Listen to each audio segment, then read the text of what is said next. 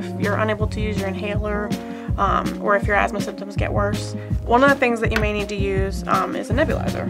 A lot of times the inhaler is much more convenient. The nebulizer will take a little bit longer, but what it does is it delivers the medication over um, 10 to 15 minutes. And if you're having really severe symptoms, you may not be able to, to concentrate to do the proper procedure for the inhaler. This allows you to get that medication if you're in really, really bad asthma attack. With this, there's two options that you can use. There's a mouthpiece or a mask, um, which we do for little kids or if somebody is older and can't hold the mouthpiece. Um, but for, for most people, the mouthpiece is going to be the best option because you're going to get the medicine down into your lungs instead of into your nose.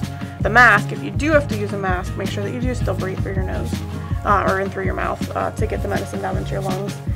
Uh, and again, it's beneficial because if you're really, really tight when you take that inhaler, the first dose of medication is only going to get to those larger airways.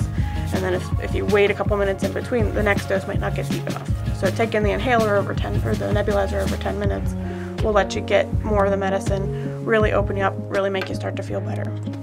So as far as how to use this, um, there's a, a, few pieces of equipment that you're going to need.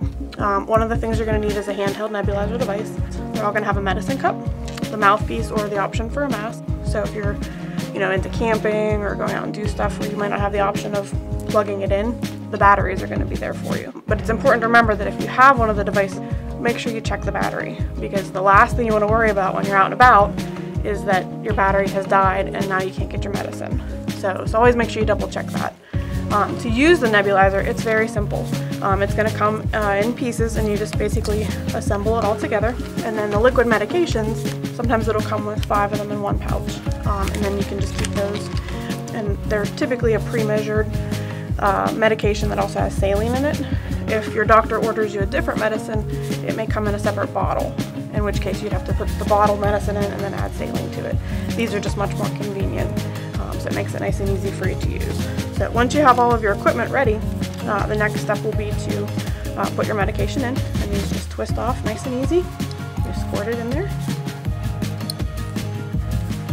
Add your mouthpiece. Um, and then you're going to turn the device on. And when you turn it on, you're going to see a mist. So to take the treatment, what you do is make a nice tight seal on the mouthpiece and just nice, slow, easy breathing in and out. Um, every couple breaths, take a little bit deeper breath and hold it for about three to five sec seconds. That lets that medicine really deposit down into your lungs so that it can really help you breathe and open you up. Um, if you start to feel dizzy or lightheaded while you're taking this, just slow your breathing down.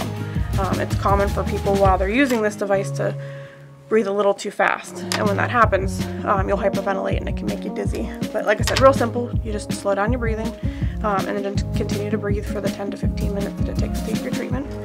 When it's getting towards the end of the medicine, it'll actually start to make a sputtering sound.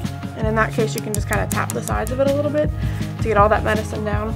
Um, once the mist has stopped appearing, that means that the medication is gone and your treatment is finished. So you would just turn your compressor off.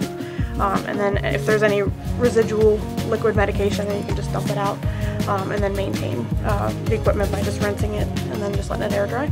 So it's pretty simple. Really important to remember though with this that it has to be kept upright.